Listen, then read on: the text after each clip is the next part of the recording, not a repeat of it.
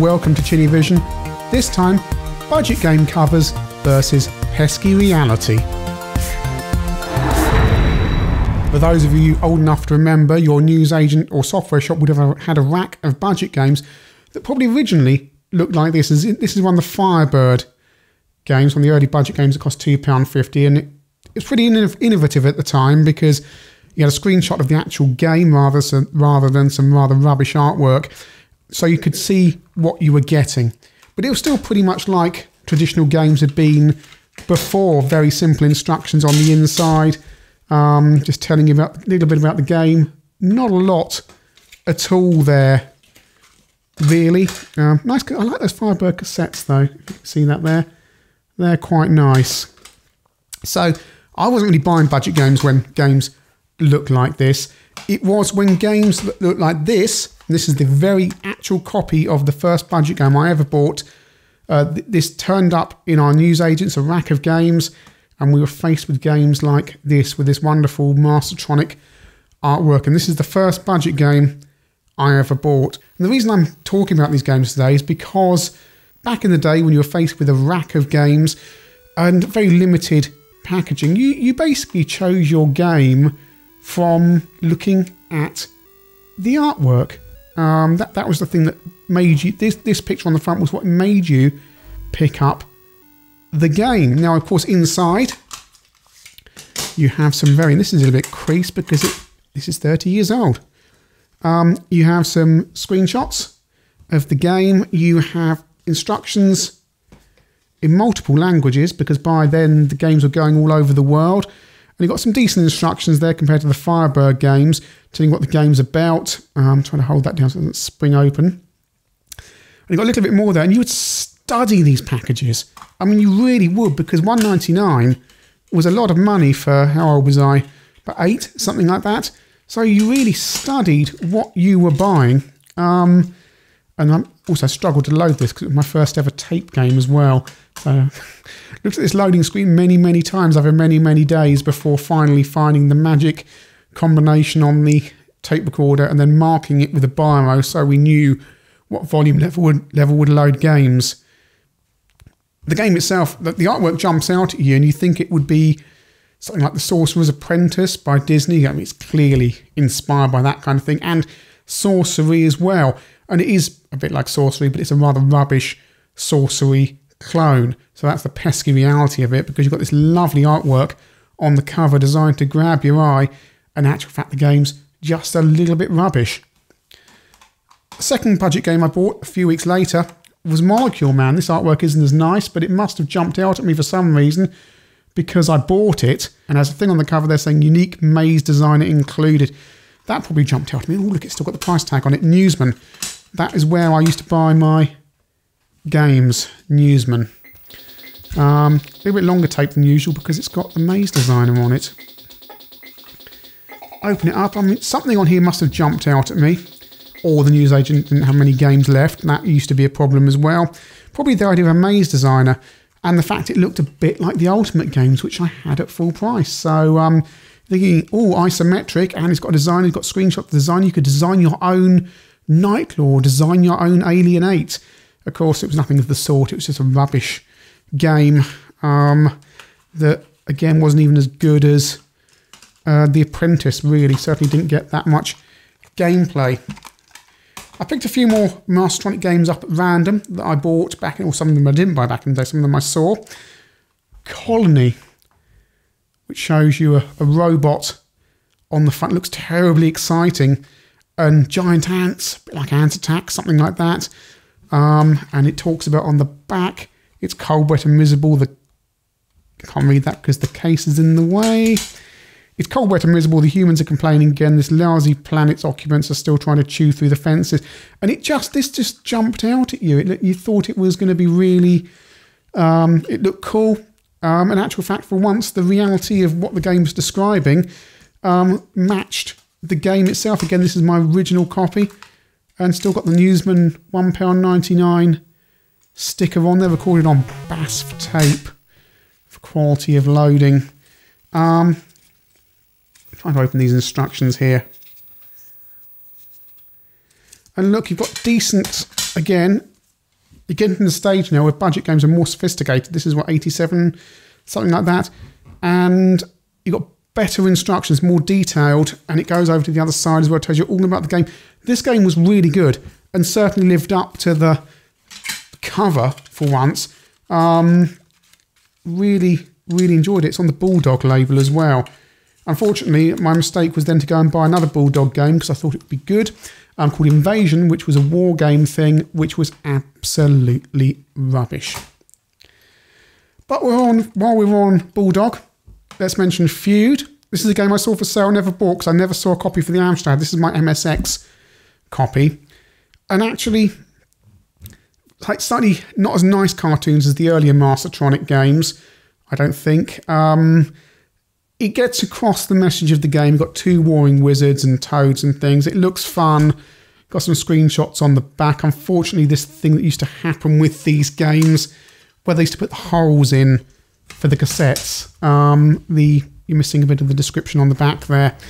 Um, Feud does, I think, live up to its cover. We've covered it many times in this channel, and I think the artwork on the front could be a little bit nicer, but does the job. It's functional, certainly. Again, I'm picking these games at random, and I've got another pick for the game. I think I probably have all my pick for games on the on the MSX shelf together. Um, this is 180, and it does exactly what it says on the tin. It's a pub darts game. There's no doubt when you're looking at this cover 180 or the screenshots on the back what you are getting. It's very functional. It says eight opponents, digitized speech, two player option, live joystick control. Live joystick. Um, come on, live joystick control? Because you can have a game without live joystick control. You know, you have you perhaps do your joystick controls a little bit earlier on, then 20 minutes later it how it actually happens. Oh, hang on, hard driving on the C64. Yeah, well, apart from that, I mean, live joystick control, full match play scoring, okay, a sense of humour, it has that. Superb playability, what more is there in life? Buy it, I agree, apart from the live joystick control. Um, or, oh, I think, I wonder, because some of those early darts games, they flashed different parts of the dartboard and you press fire at the right time, didn't you? Whereas this, you've got the, the hand ready to throw. So perhaps that's what they mean by live joystick control.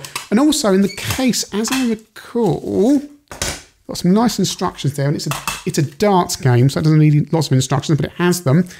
It has full scoring tables there uh, for all the combinations. So if you're rubbish at darts and maths, you get it all worked out for you.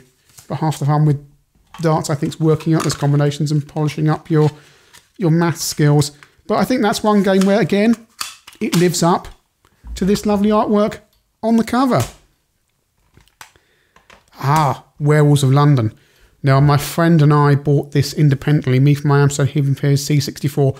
This is his C64 copy um, from uh, many, many years ago. So we both bought this in 1988. Of course, viewed in this channel before. Superb game on the Amstrad and the C64, not so much on the Spectrum, still playable.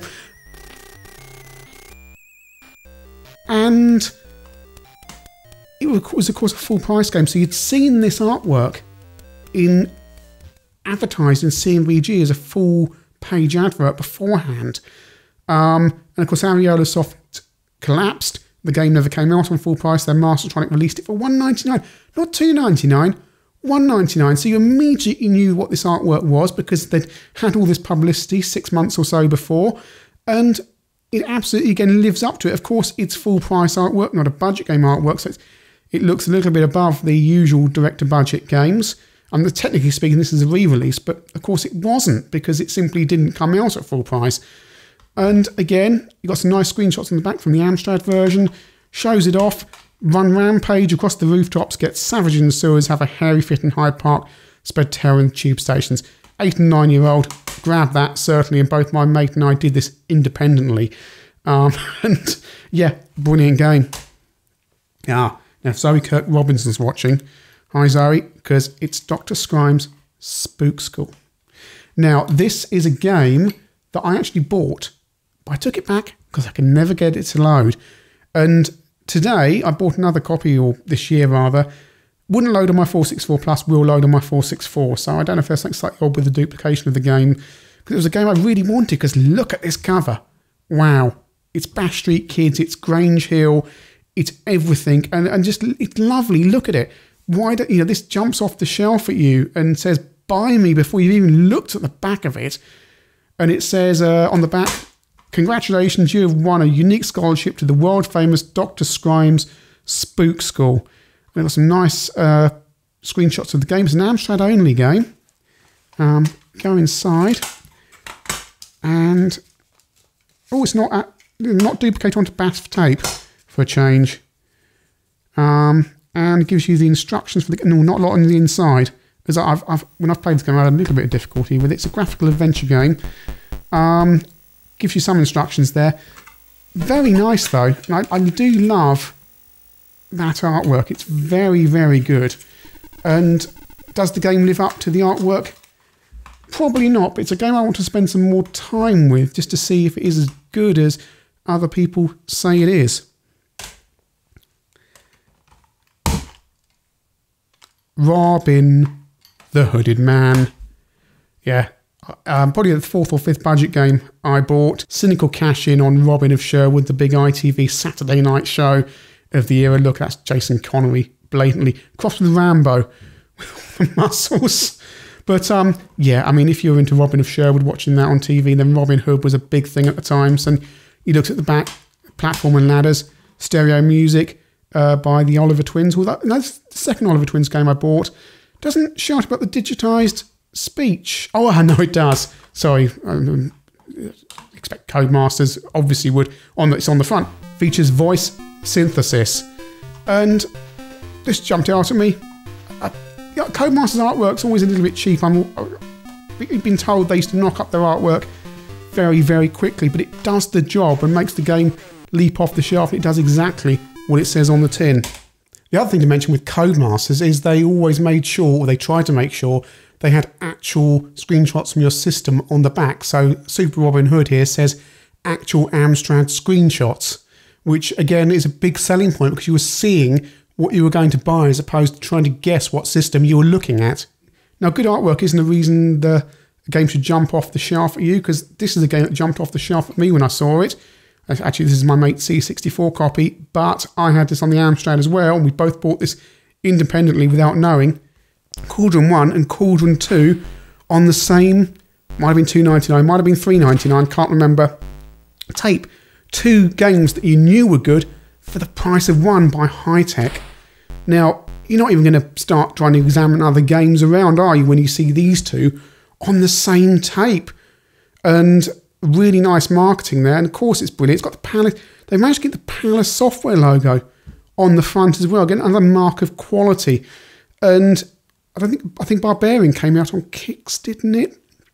But this came out on Hi-Tec, And a brilliant idea. I mean, I don't know how it affected their sales, actual figures in pounds, compared to releasing the two games independently.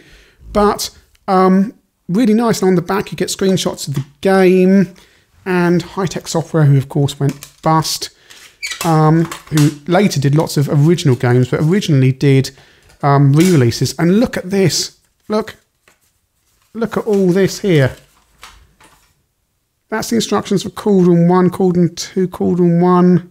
It's half written foreign. It's half written different language. Oh, it is. Right, okay. Ah, right, okay. That's Cauldron 1 there. But you don't get much, I guess. It, that's probably on a authentically printed bit of paper originally.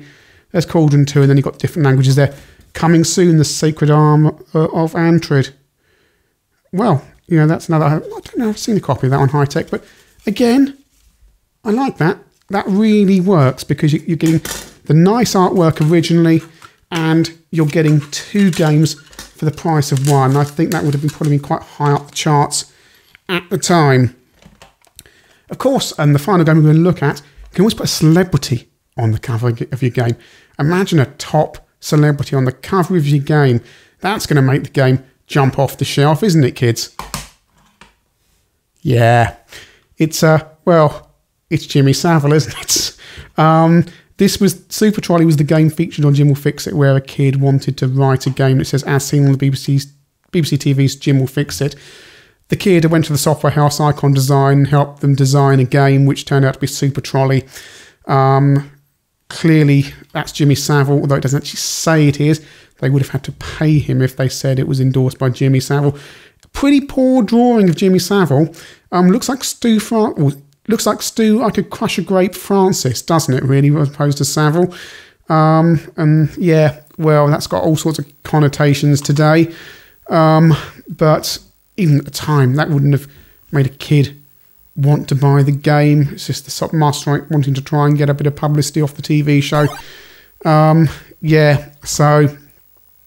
And the screenshots on the back look fairly rubbish. Well, I, I, I did like the idea of doing a game in a supermarket. It's quite novel, but the game looks fairly bland. Uh, lots of text. I mean, if a game has to have that much text on the back of it, a budget game, something's wrong. You're trying to oversell it and try to explain what it's all about. And again, on the back, it has, as seen on the BBC TV's Jim'll Fix It. So we've looked at a few games that would have appeared on newsagent shelves back in the day. And a lot of them have nice artwork that would have jumped out at you, really. I think the Fube one is a little bit uh, more basic, but most of these, yeah. I mean, these ones I, I've said I've bought, except Molecule Man. When you look at these games on the shelf, you hadn't seen the reviews. The magazines were typically three months behind on reviews, so you by the time you saw a review of the game, the next batch of games would come into the newsagent or software shop and you were buying those instead. So you really did rely on the artwork and your judgment, and yeah, okay, a lot of the time you got it wrong, but sometimes the artwork like Colony, like 180, like Werewolves of London, like Grimm's Spook School, and to an extent The Apprentice really actually did do the majority of the selling of the game to you, and actually did a pretty good job of describing what the game was all about.